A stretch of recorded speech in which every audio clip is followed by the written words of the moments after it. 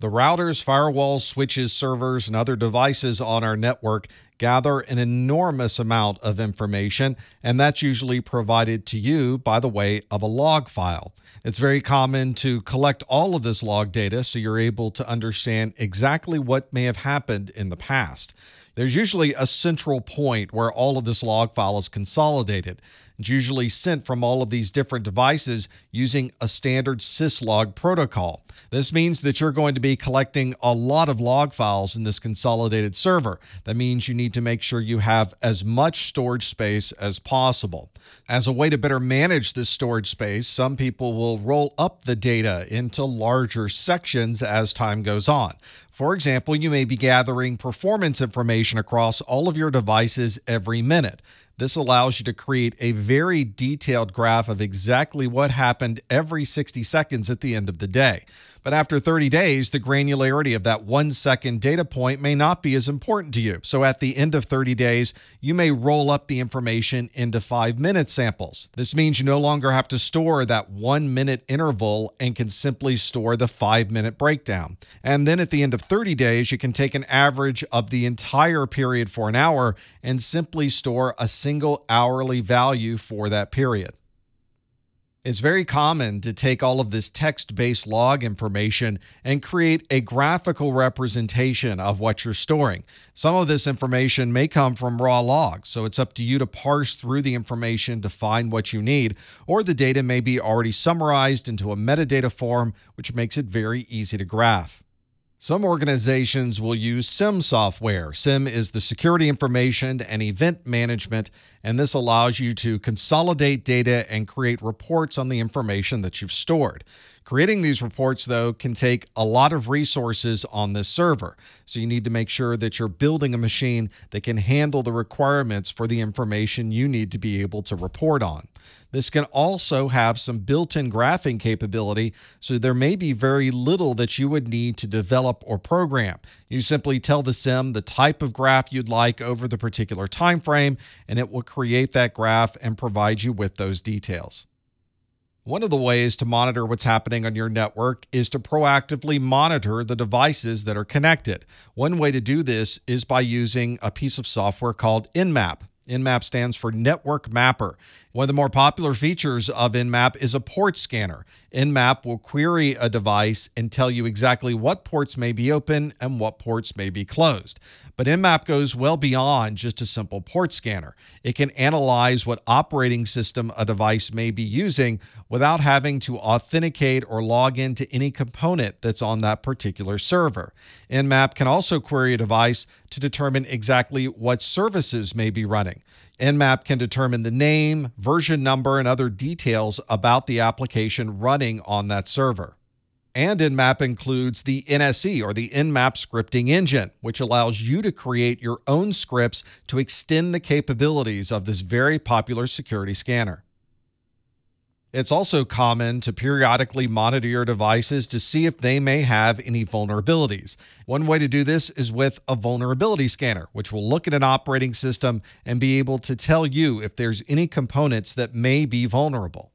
Vulnerability scanners are very good at finding unknown devices on the network. So if you're looking for a server or a security device that's been added without your knowledge, a vulnerability scan may be a good way to find it.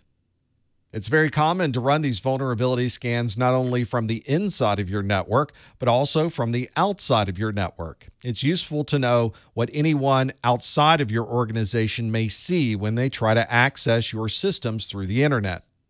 Vulnerability scanners are not 100% perfect, but they do give us a list of things to look through. So after we have run the vulnerability scan, it's common to step through all of the results and determine what may be a real vulnerability versus a false positive. Vulnerability scans are very good at pointing out when security doesn't exist. So when you scan a device and it says a firewall isn't running, there's no antivirus and no anti spyware, you can then address that with the results of your vulnerability scan. There may be also situations where a device is misconfigured. For example, there may be a share that is open on that device without any type of security, or perhaps someone has turned on guest access to a particular system and not realized it. A vulnerability scan will identify that and provide those details in the report. And of course, our operating systems and applications have vulnerabilities that are found all the time. Vulnerability scanners are usually updated constantly with the latest set of signatures, so you'll be able to find even the newest vulnerabilities that may be associated with your services. If a vulnerability is discovered on a device, then it may be time to patch. Of course, you can always apply patches when they're released to provide additional stability to an operating system or an application as well. With Microsoft Windows, a number of patches can be combined together to create a service pack. That makes it very easy to apply a large number of patches at a single time to bring the operating system up to a particular state. So you could install Service Pack 1 or Service Pack 2 and have all of those patches applied up to that point. Microsoft and other organizations will release patches every month, so you'll want to look through all of the notes associated with that monthly update and make sure that all of your systems are patched. On rare occasions, you may find that a patch does not follow the monthly update and it's more of an emergency patch that needs to be pushed out immediately. These zero day patches are usually created to address a very significant security concern. So if you see an emergency or out of band update appear, you should find out more information about that immediately. Sometimes the installation of a security patch can unfortunately create other problems with your operating systems or your applications. Most operating systems will provide you with a list of all of the patches that have been installed, and then you can choose a particular patch to uninstall or roll back to a previous configuration. Once you've collected all of this monitoring information back to a central point, you can begin creating baselines. This allows you to understand what the normal operation of your network might be over time. If any of these reports indicate a change to the baseline, then you may need to do additional investigation to find out what may be happening on your network. Sometimes you need to get into the details of what an application may be doing over the network, and there's nothing more detailed than a protocol analysis.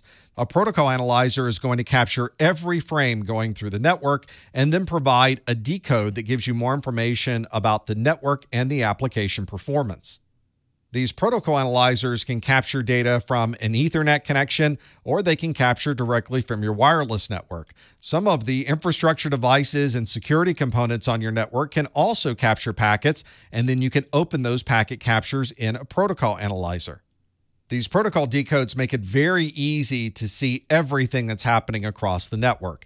You can identify unknown traffic patterns. You can see the application performance of traffic across the network, or you can create filters that will narrow down the view to exactly what you're looking for. Some large scale protocol analyzers allow you to capture information over days of time. That allows you to then perform some big data analytics and be able to determine more information about what's really happening with the applications on your network.